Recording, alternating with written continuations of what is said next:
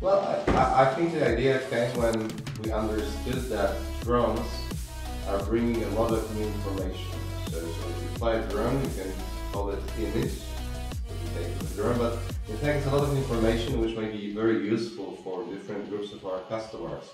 Insurance, agriculture, energy, utilities, roads, as, as here in Malta.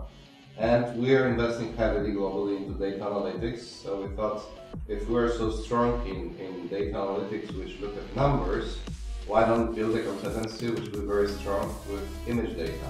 Especially those, those images we can convert into meaningful uh, engineering grade products like digital terrain models. So, for instance, we can measure the value and volume of earthworks on the construction sites, and they contribute heavily to the project budget, and it inflicts immediately on the plant's operations. What are the main challenges behind drone powered solutions to get things like autonomous drone? I, I think it's a pretty similar thing as with autonomous cars. We as a society are a little, a little bit afraid of robots, of, of autonomy. So it's change management, which needs to occur at the level of societies.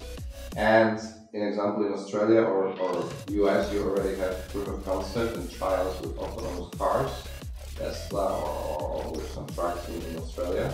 So I think the same will be starting to happen this next year with drones, but to get it at the policy level and, and regulation level is probably not for eight years. The interesting thing is that the technology is here.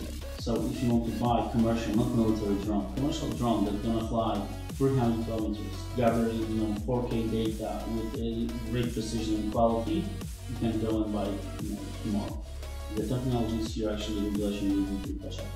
So this is a really how this is recommended uh, follow up on.